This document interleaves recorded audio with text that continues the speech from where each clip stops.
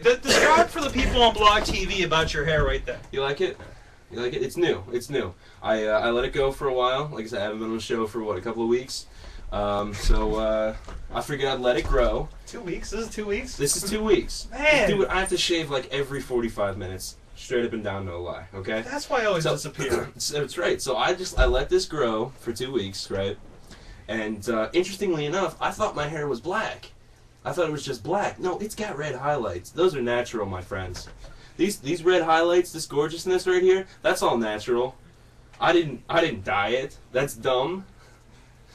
dye your hair.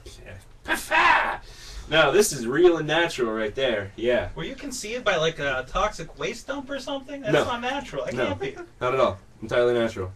You Yeah. just- and you see the Silent Ninja's got the gangster I look do on I it. do, and that's fucking Because it's pimp. fancy hat. That is fucking pimp. I don't know why it's fancy hat I don't night. know. Because I got a put text- hats on and I it's got fancy. a, I got a text message from Dave saying, you know, that dirty bitch wear a fancy hat tonight, and I was like, sure, fuck it, yeah.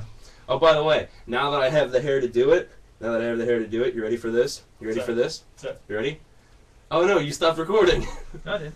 oh, okay. You're still re- good. Yeah, good. go, go, you ready go for for it. this? Hey, iJustine, I'm coming for you, bitch.